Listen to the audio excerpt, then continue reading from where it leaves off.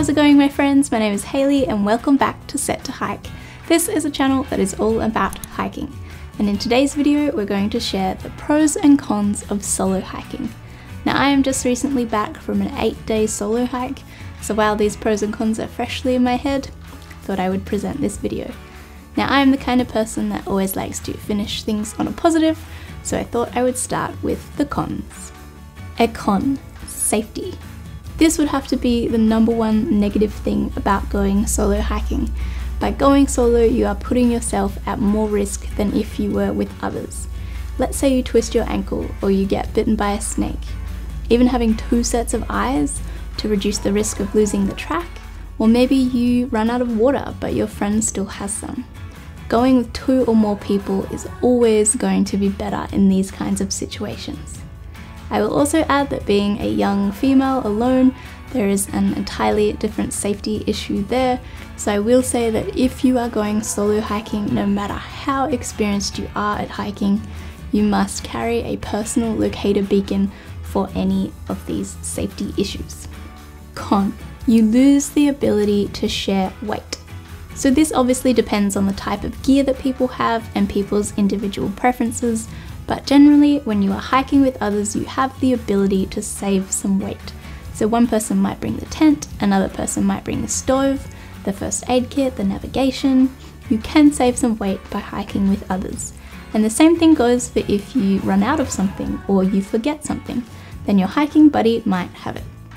Con, you can't split costs. So this can refer to a number of things. If you're going solo, you can't split the costs of things like campsite fees, park fees, petrol money or other means of transport, even things like accommodation before and after the track. Things can add up pretty quickly when you are by yourself. Con. Transport becomes harder. I am mainly talking about one-way tracks for this point. I don't know how many times I have researched a track to find out it is a one-way track instead of a loop track, or there isn't really much public transport or support for the track. The best way to overcome this is by grabbing your hiking buddy and doing a car shuffle so that when you reach the end of the track, you can jump in their car, drive to the start of the track, and pick up your car. So by going solo, transport becomes harder. Con. No one can take your photo. Or in my case, filming video. Now this certainly doesn't apply to everybody, but let me tell you, it is way easier to compose a shot when somebody is in it rather than when somebody is not. Con. You might get lonely. There is a quote from a film called Into the Wild which says, Happiness is only real when shared, which is both a beautiful quote and a sad quote at the same time. So you might see this beautiful view at the top of a summit that you've just climbed and simply wish that you had someone to share that experience with. I think some people need social interaction more than others, and your own company might drive you a little bit lonely and a little bit crazy. Con scary noises at nighttime. This only concerns you if you've watched too many horror films, but nighttime can be surprisingly noisy.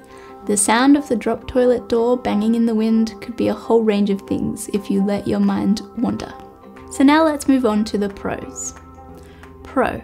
Solo hiking is easier from an organisational point of view. You can go whenever it suits you. You don't have to wait for people to get time off work. You don't have to consult anybody about any decision along the way. Time is probably the main reason why I go solo hiking. Sometimes I have a very small window of free time that simply doesn't align with anybody else's free time. And my two choices are to go alone or not go at all.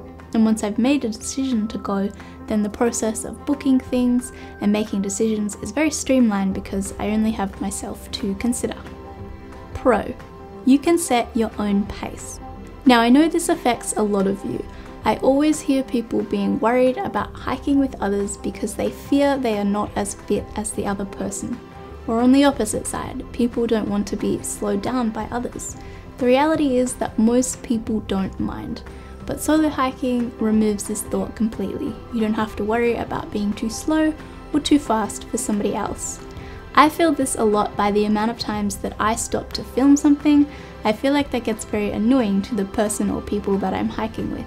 So by going solo, if I see a shot, I can get it. I don't have to feel bad for stopping, even though I stopped two minutes ago. Pro. You can set your own routine. This is pretty similar to setting your own pace, but basically you can do things in any order that you like.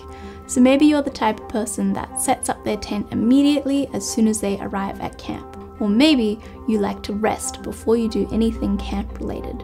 Solo hiking really gives you the opportunity to listen to your body and make your own way. Maybe you want to stop for an hour lunch break, or maybe you only want to stop for 20 minutes. The choice is entirely yours. Pro, a sense of achievement. Now you're going to feel a sense of achievement of finishing a track regardless of whether you're going solo or hiking with others but I feel there is a very special sense of achievement when you go solo. You can learn a lot about yourself both physically and mentally when solo hiking, and that is something to be proud of yourself for. Pro. You might genuinely enjoy being alone. Going into the outdoors might be your way of tuning out. You can really allow yourself to think about things without distractions. And I feel there is almost more of an openness to the things around you when you are not stimulated by somebody else or somebody else's thoughts. Pro, you can meet new people. So again, you're going to meet new people regardless of whether you are hiking solo or hiking with others. But hiking can be a great way to meet like-minded people. And when you're going by yourself, you might be a little bit more inclined get to know the people that you meet on the track. So that's my little list of the pros and cons of solo hiking. If you are thinking about solo hiking, give it a go and see how you feel. Start with day hikes before moving on to overnight hikes. Choose a track that is really well maintained and really well signposted. Let someone know your itinerary and when they can expect you back. For me personally, I've been hiking for about 12 years and I only went on my first solo hike last year. I do prefer hiking with others simply because I think it's funner and I enjoy sharing those experiences with other people, but in saying that, Sometimes if you wait for others, you might never go. So if you want to do something, go and do it.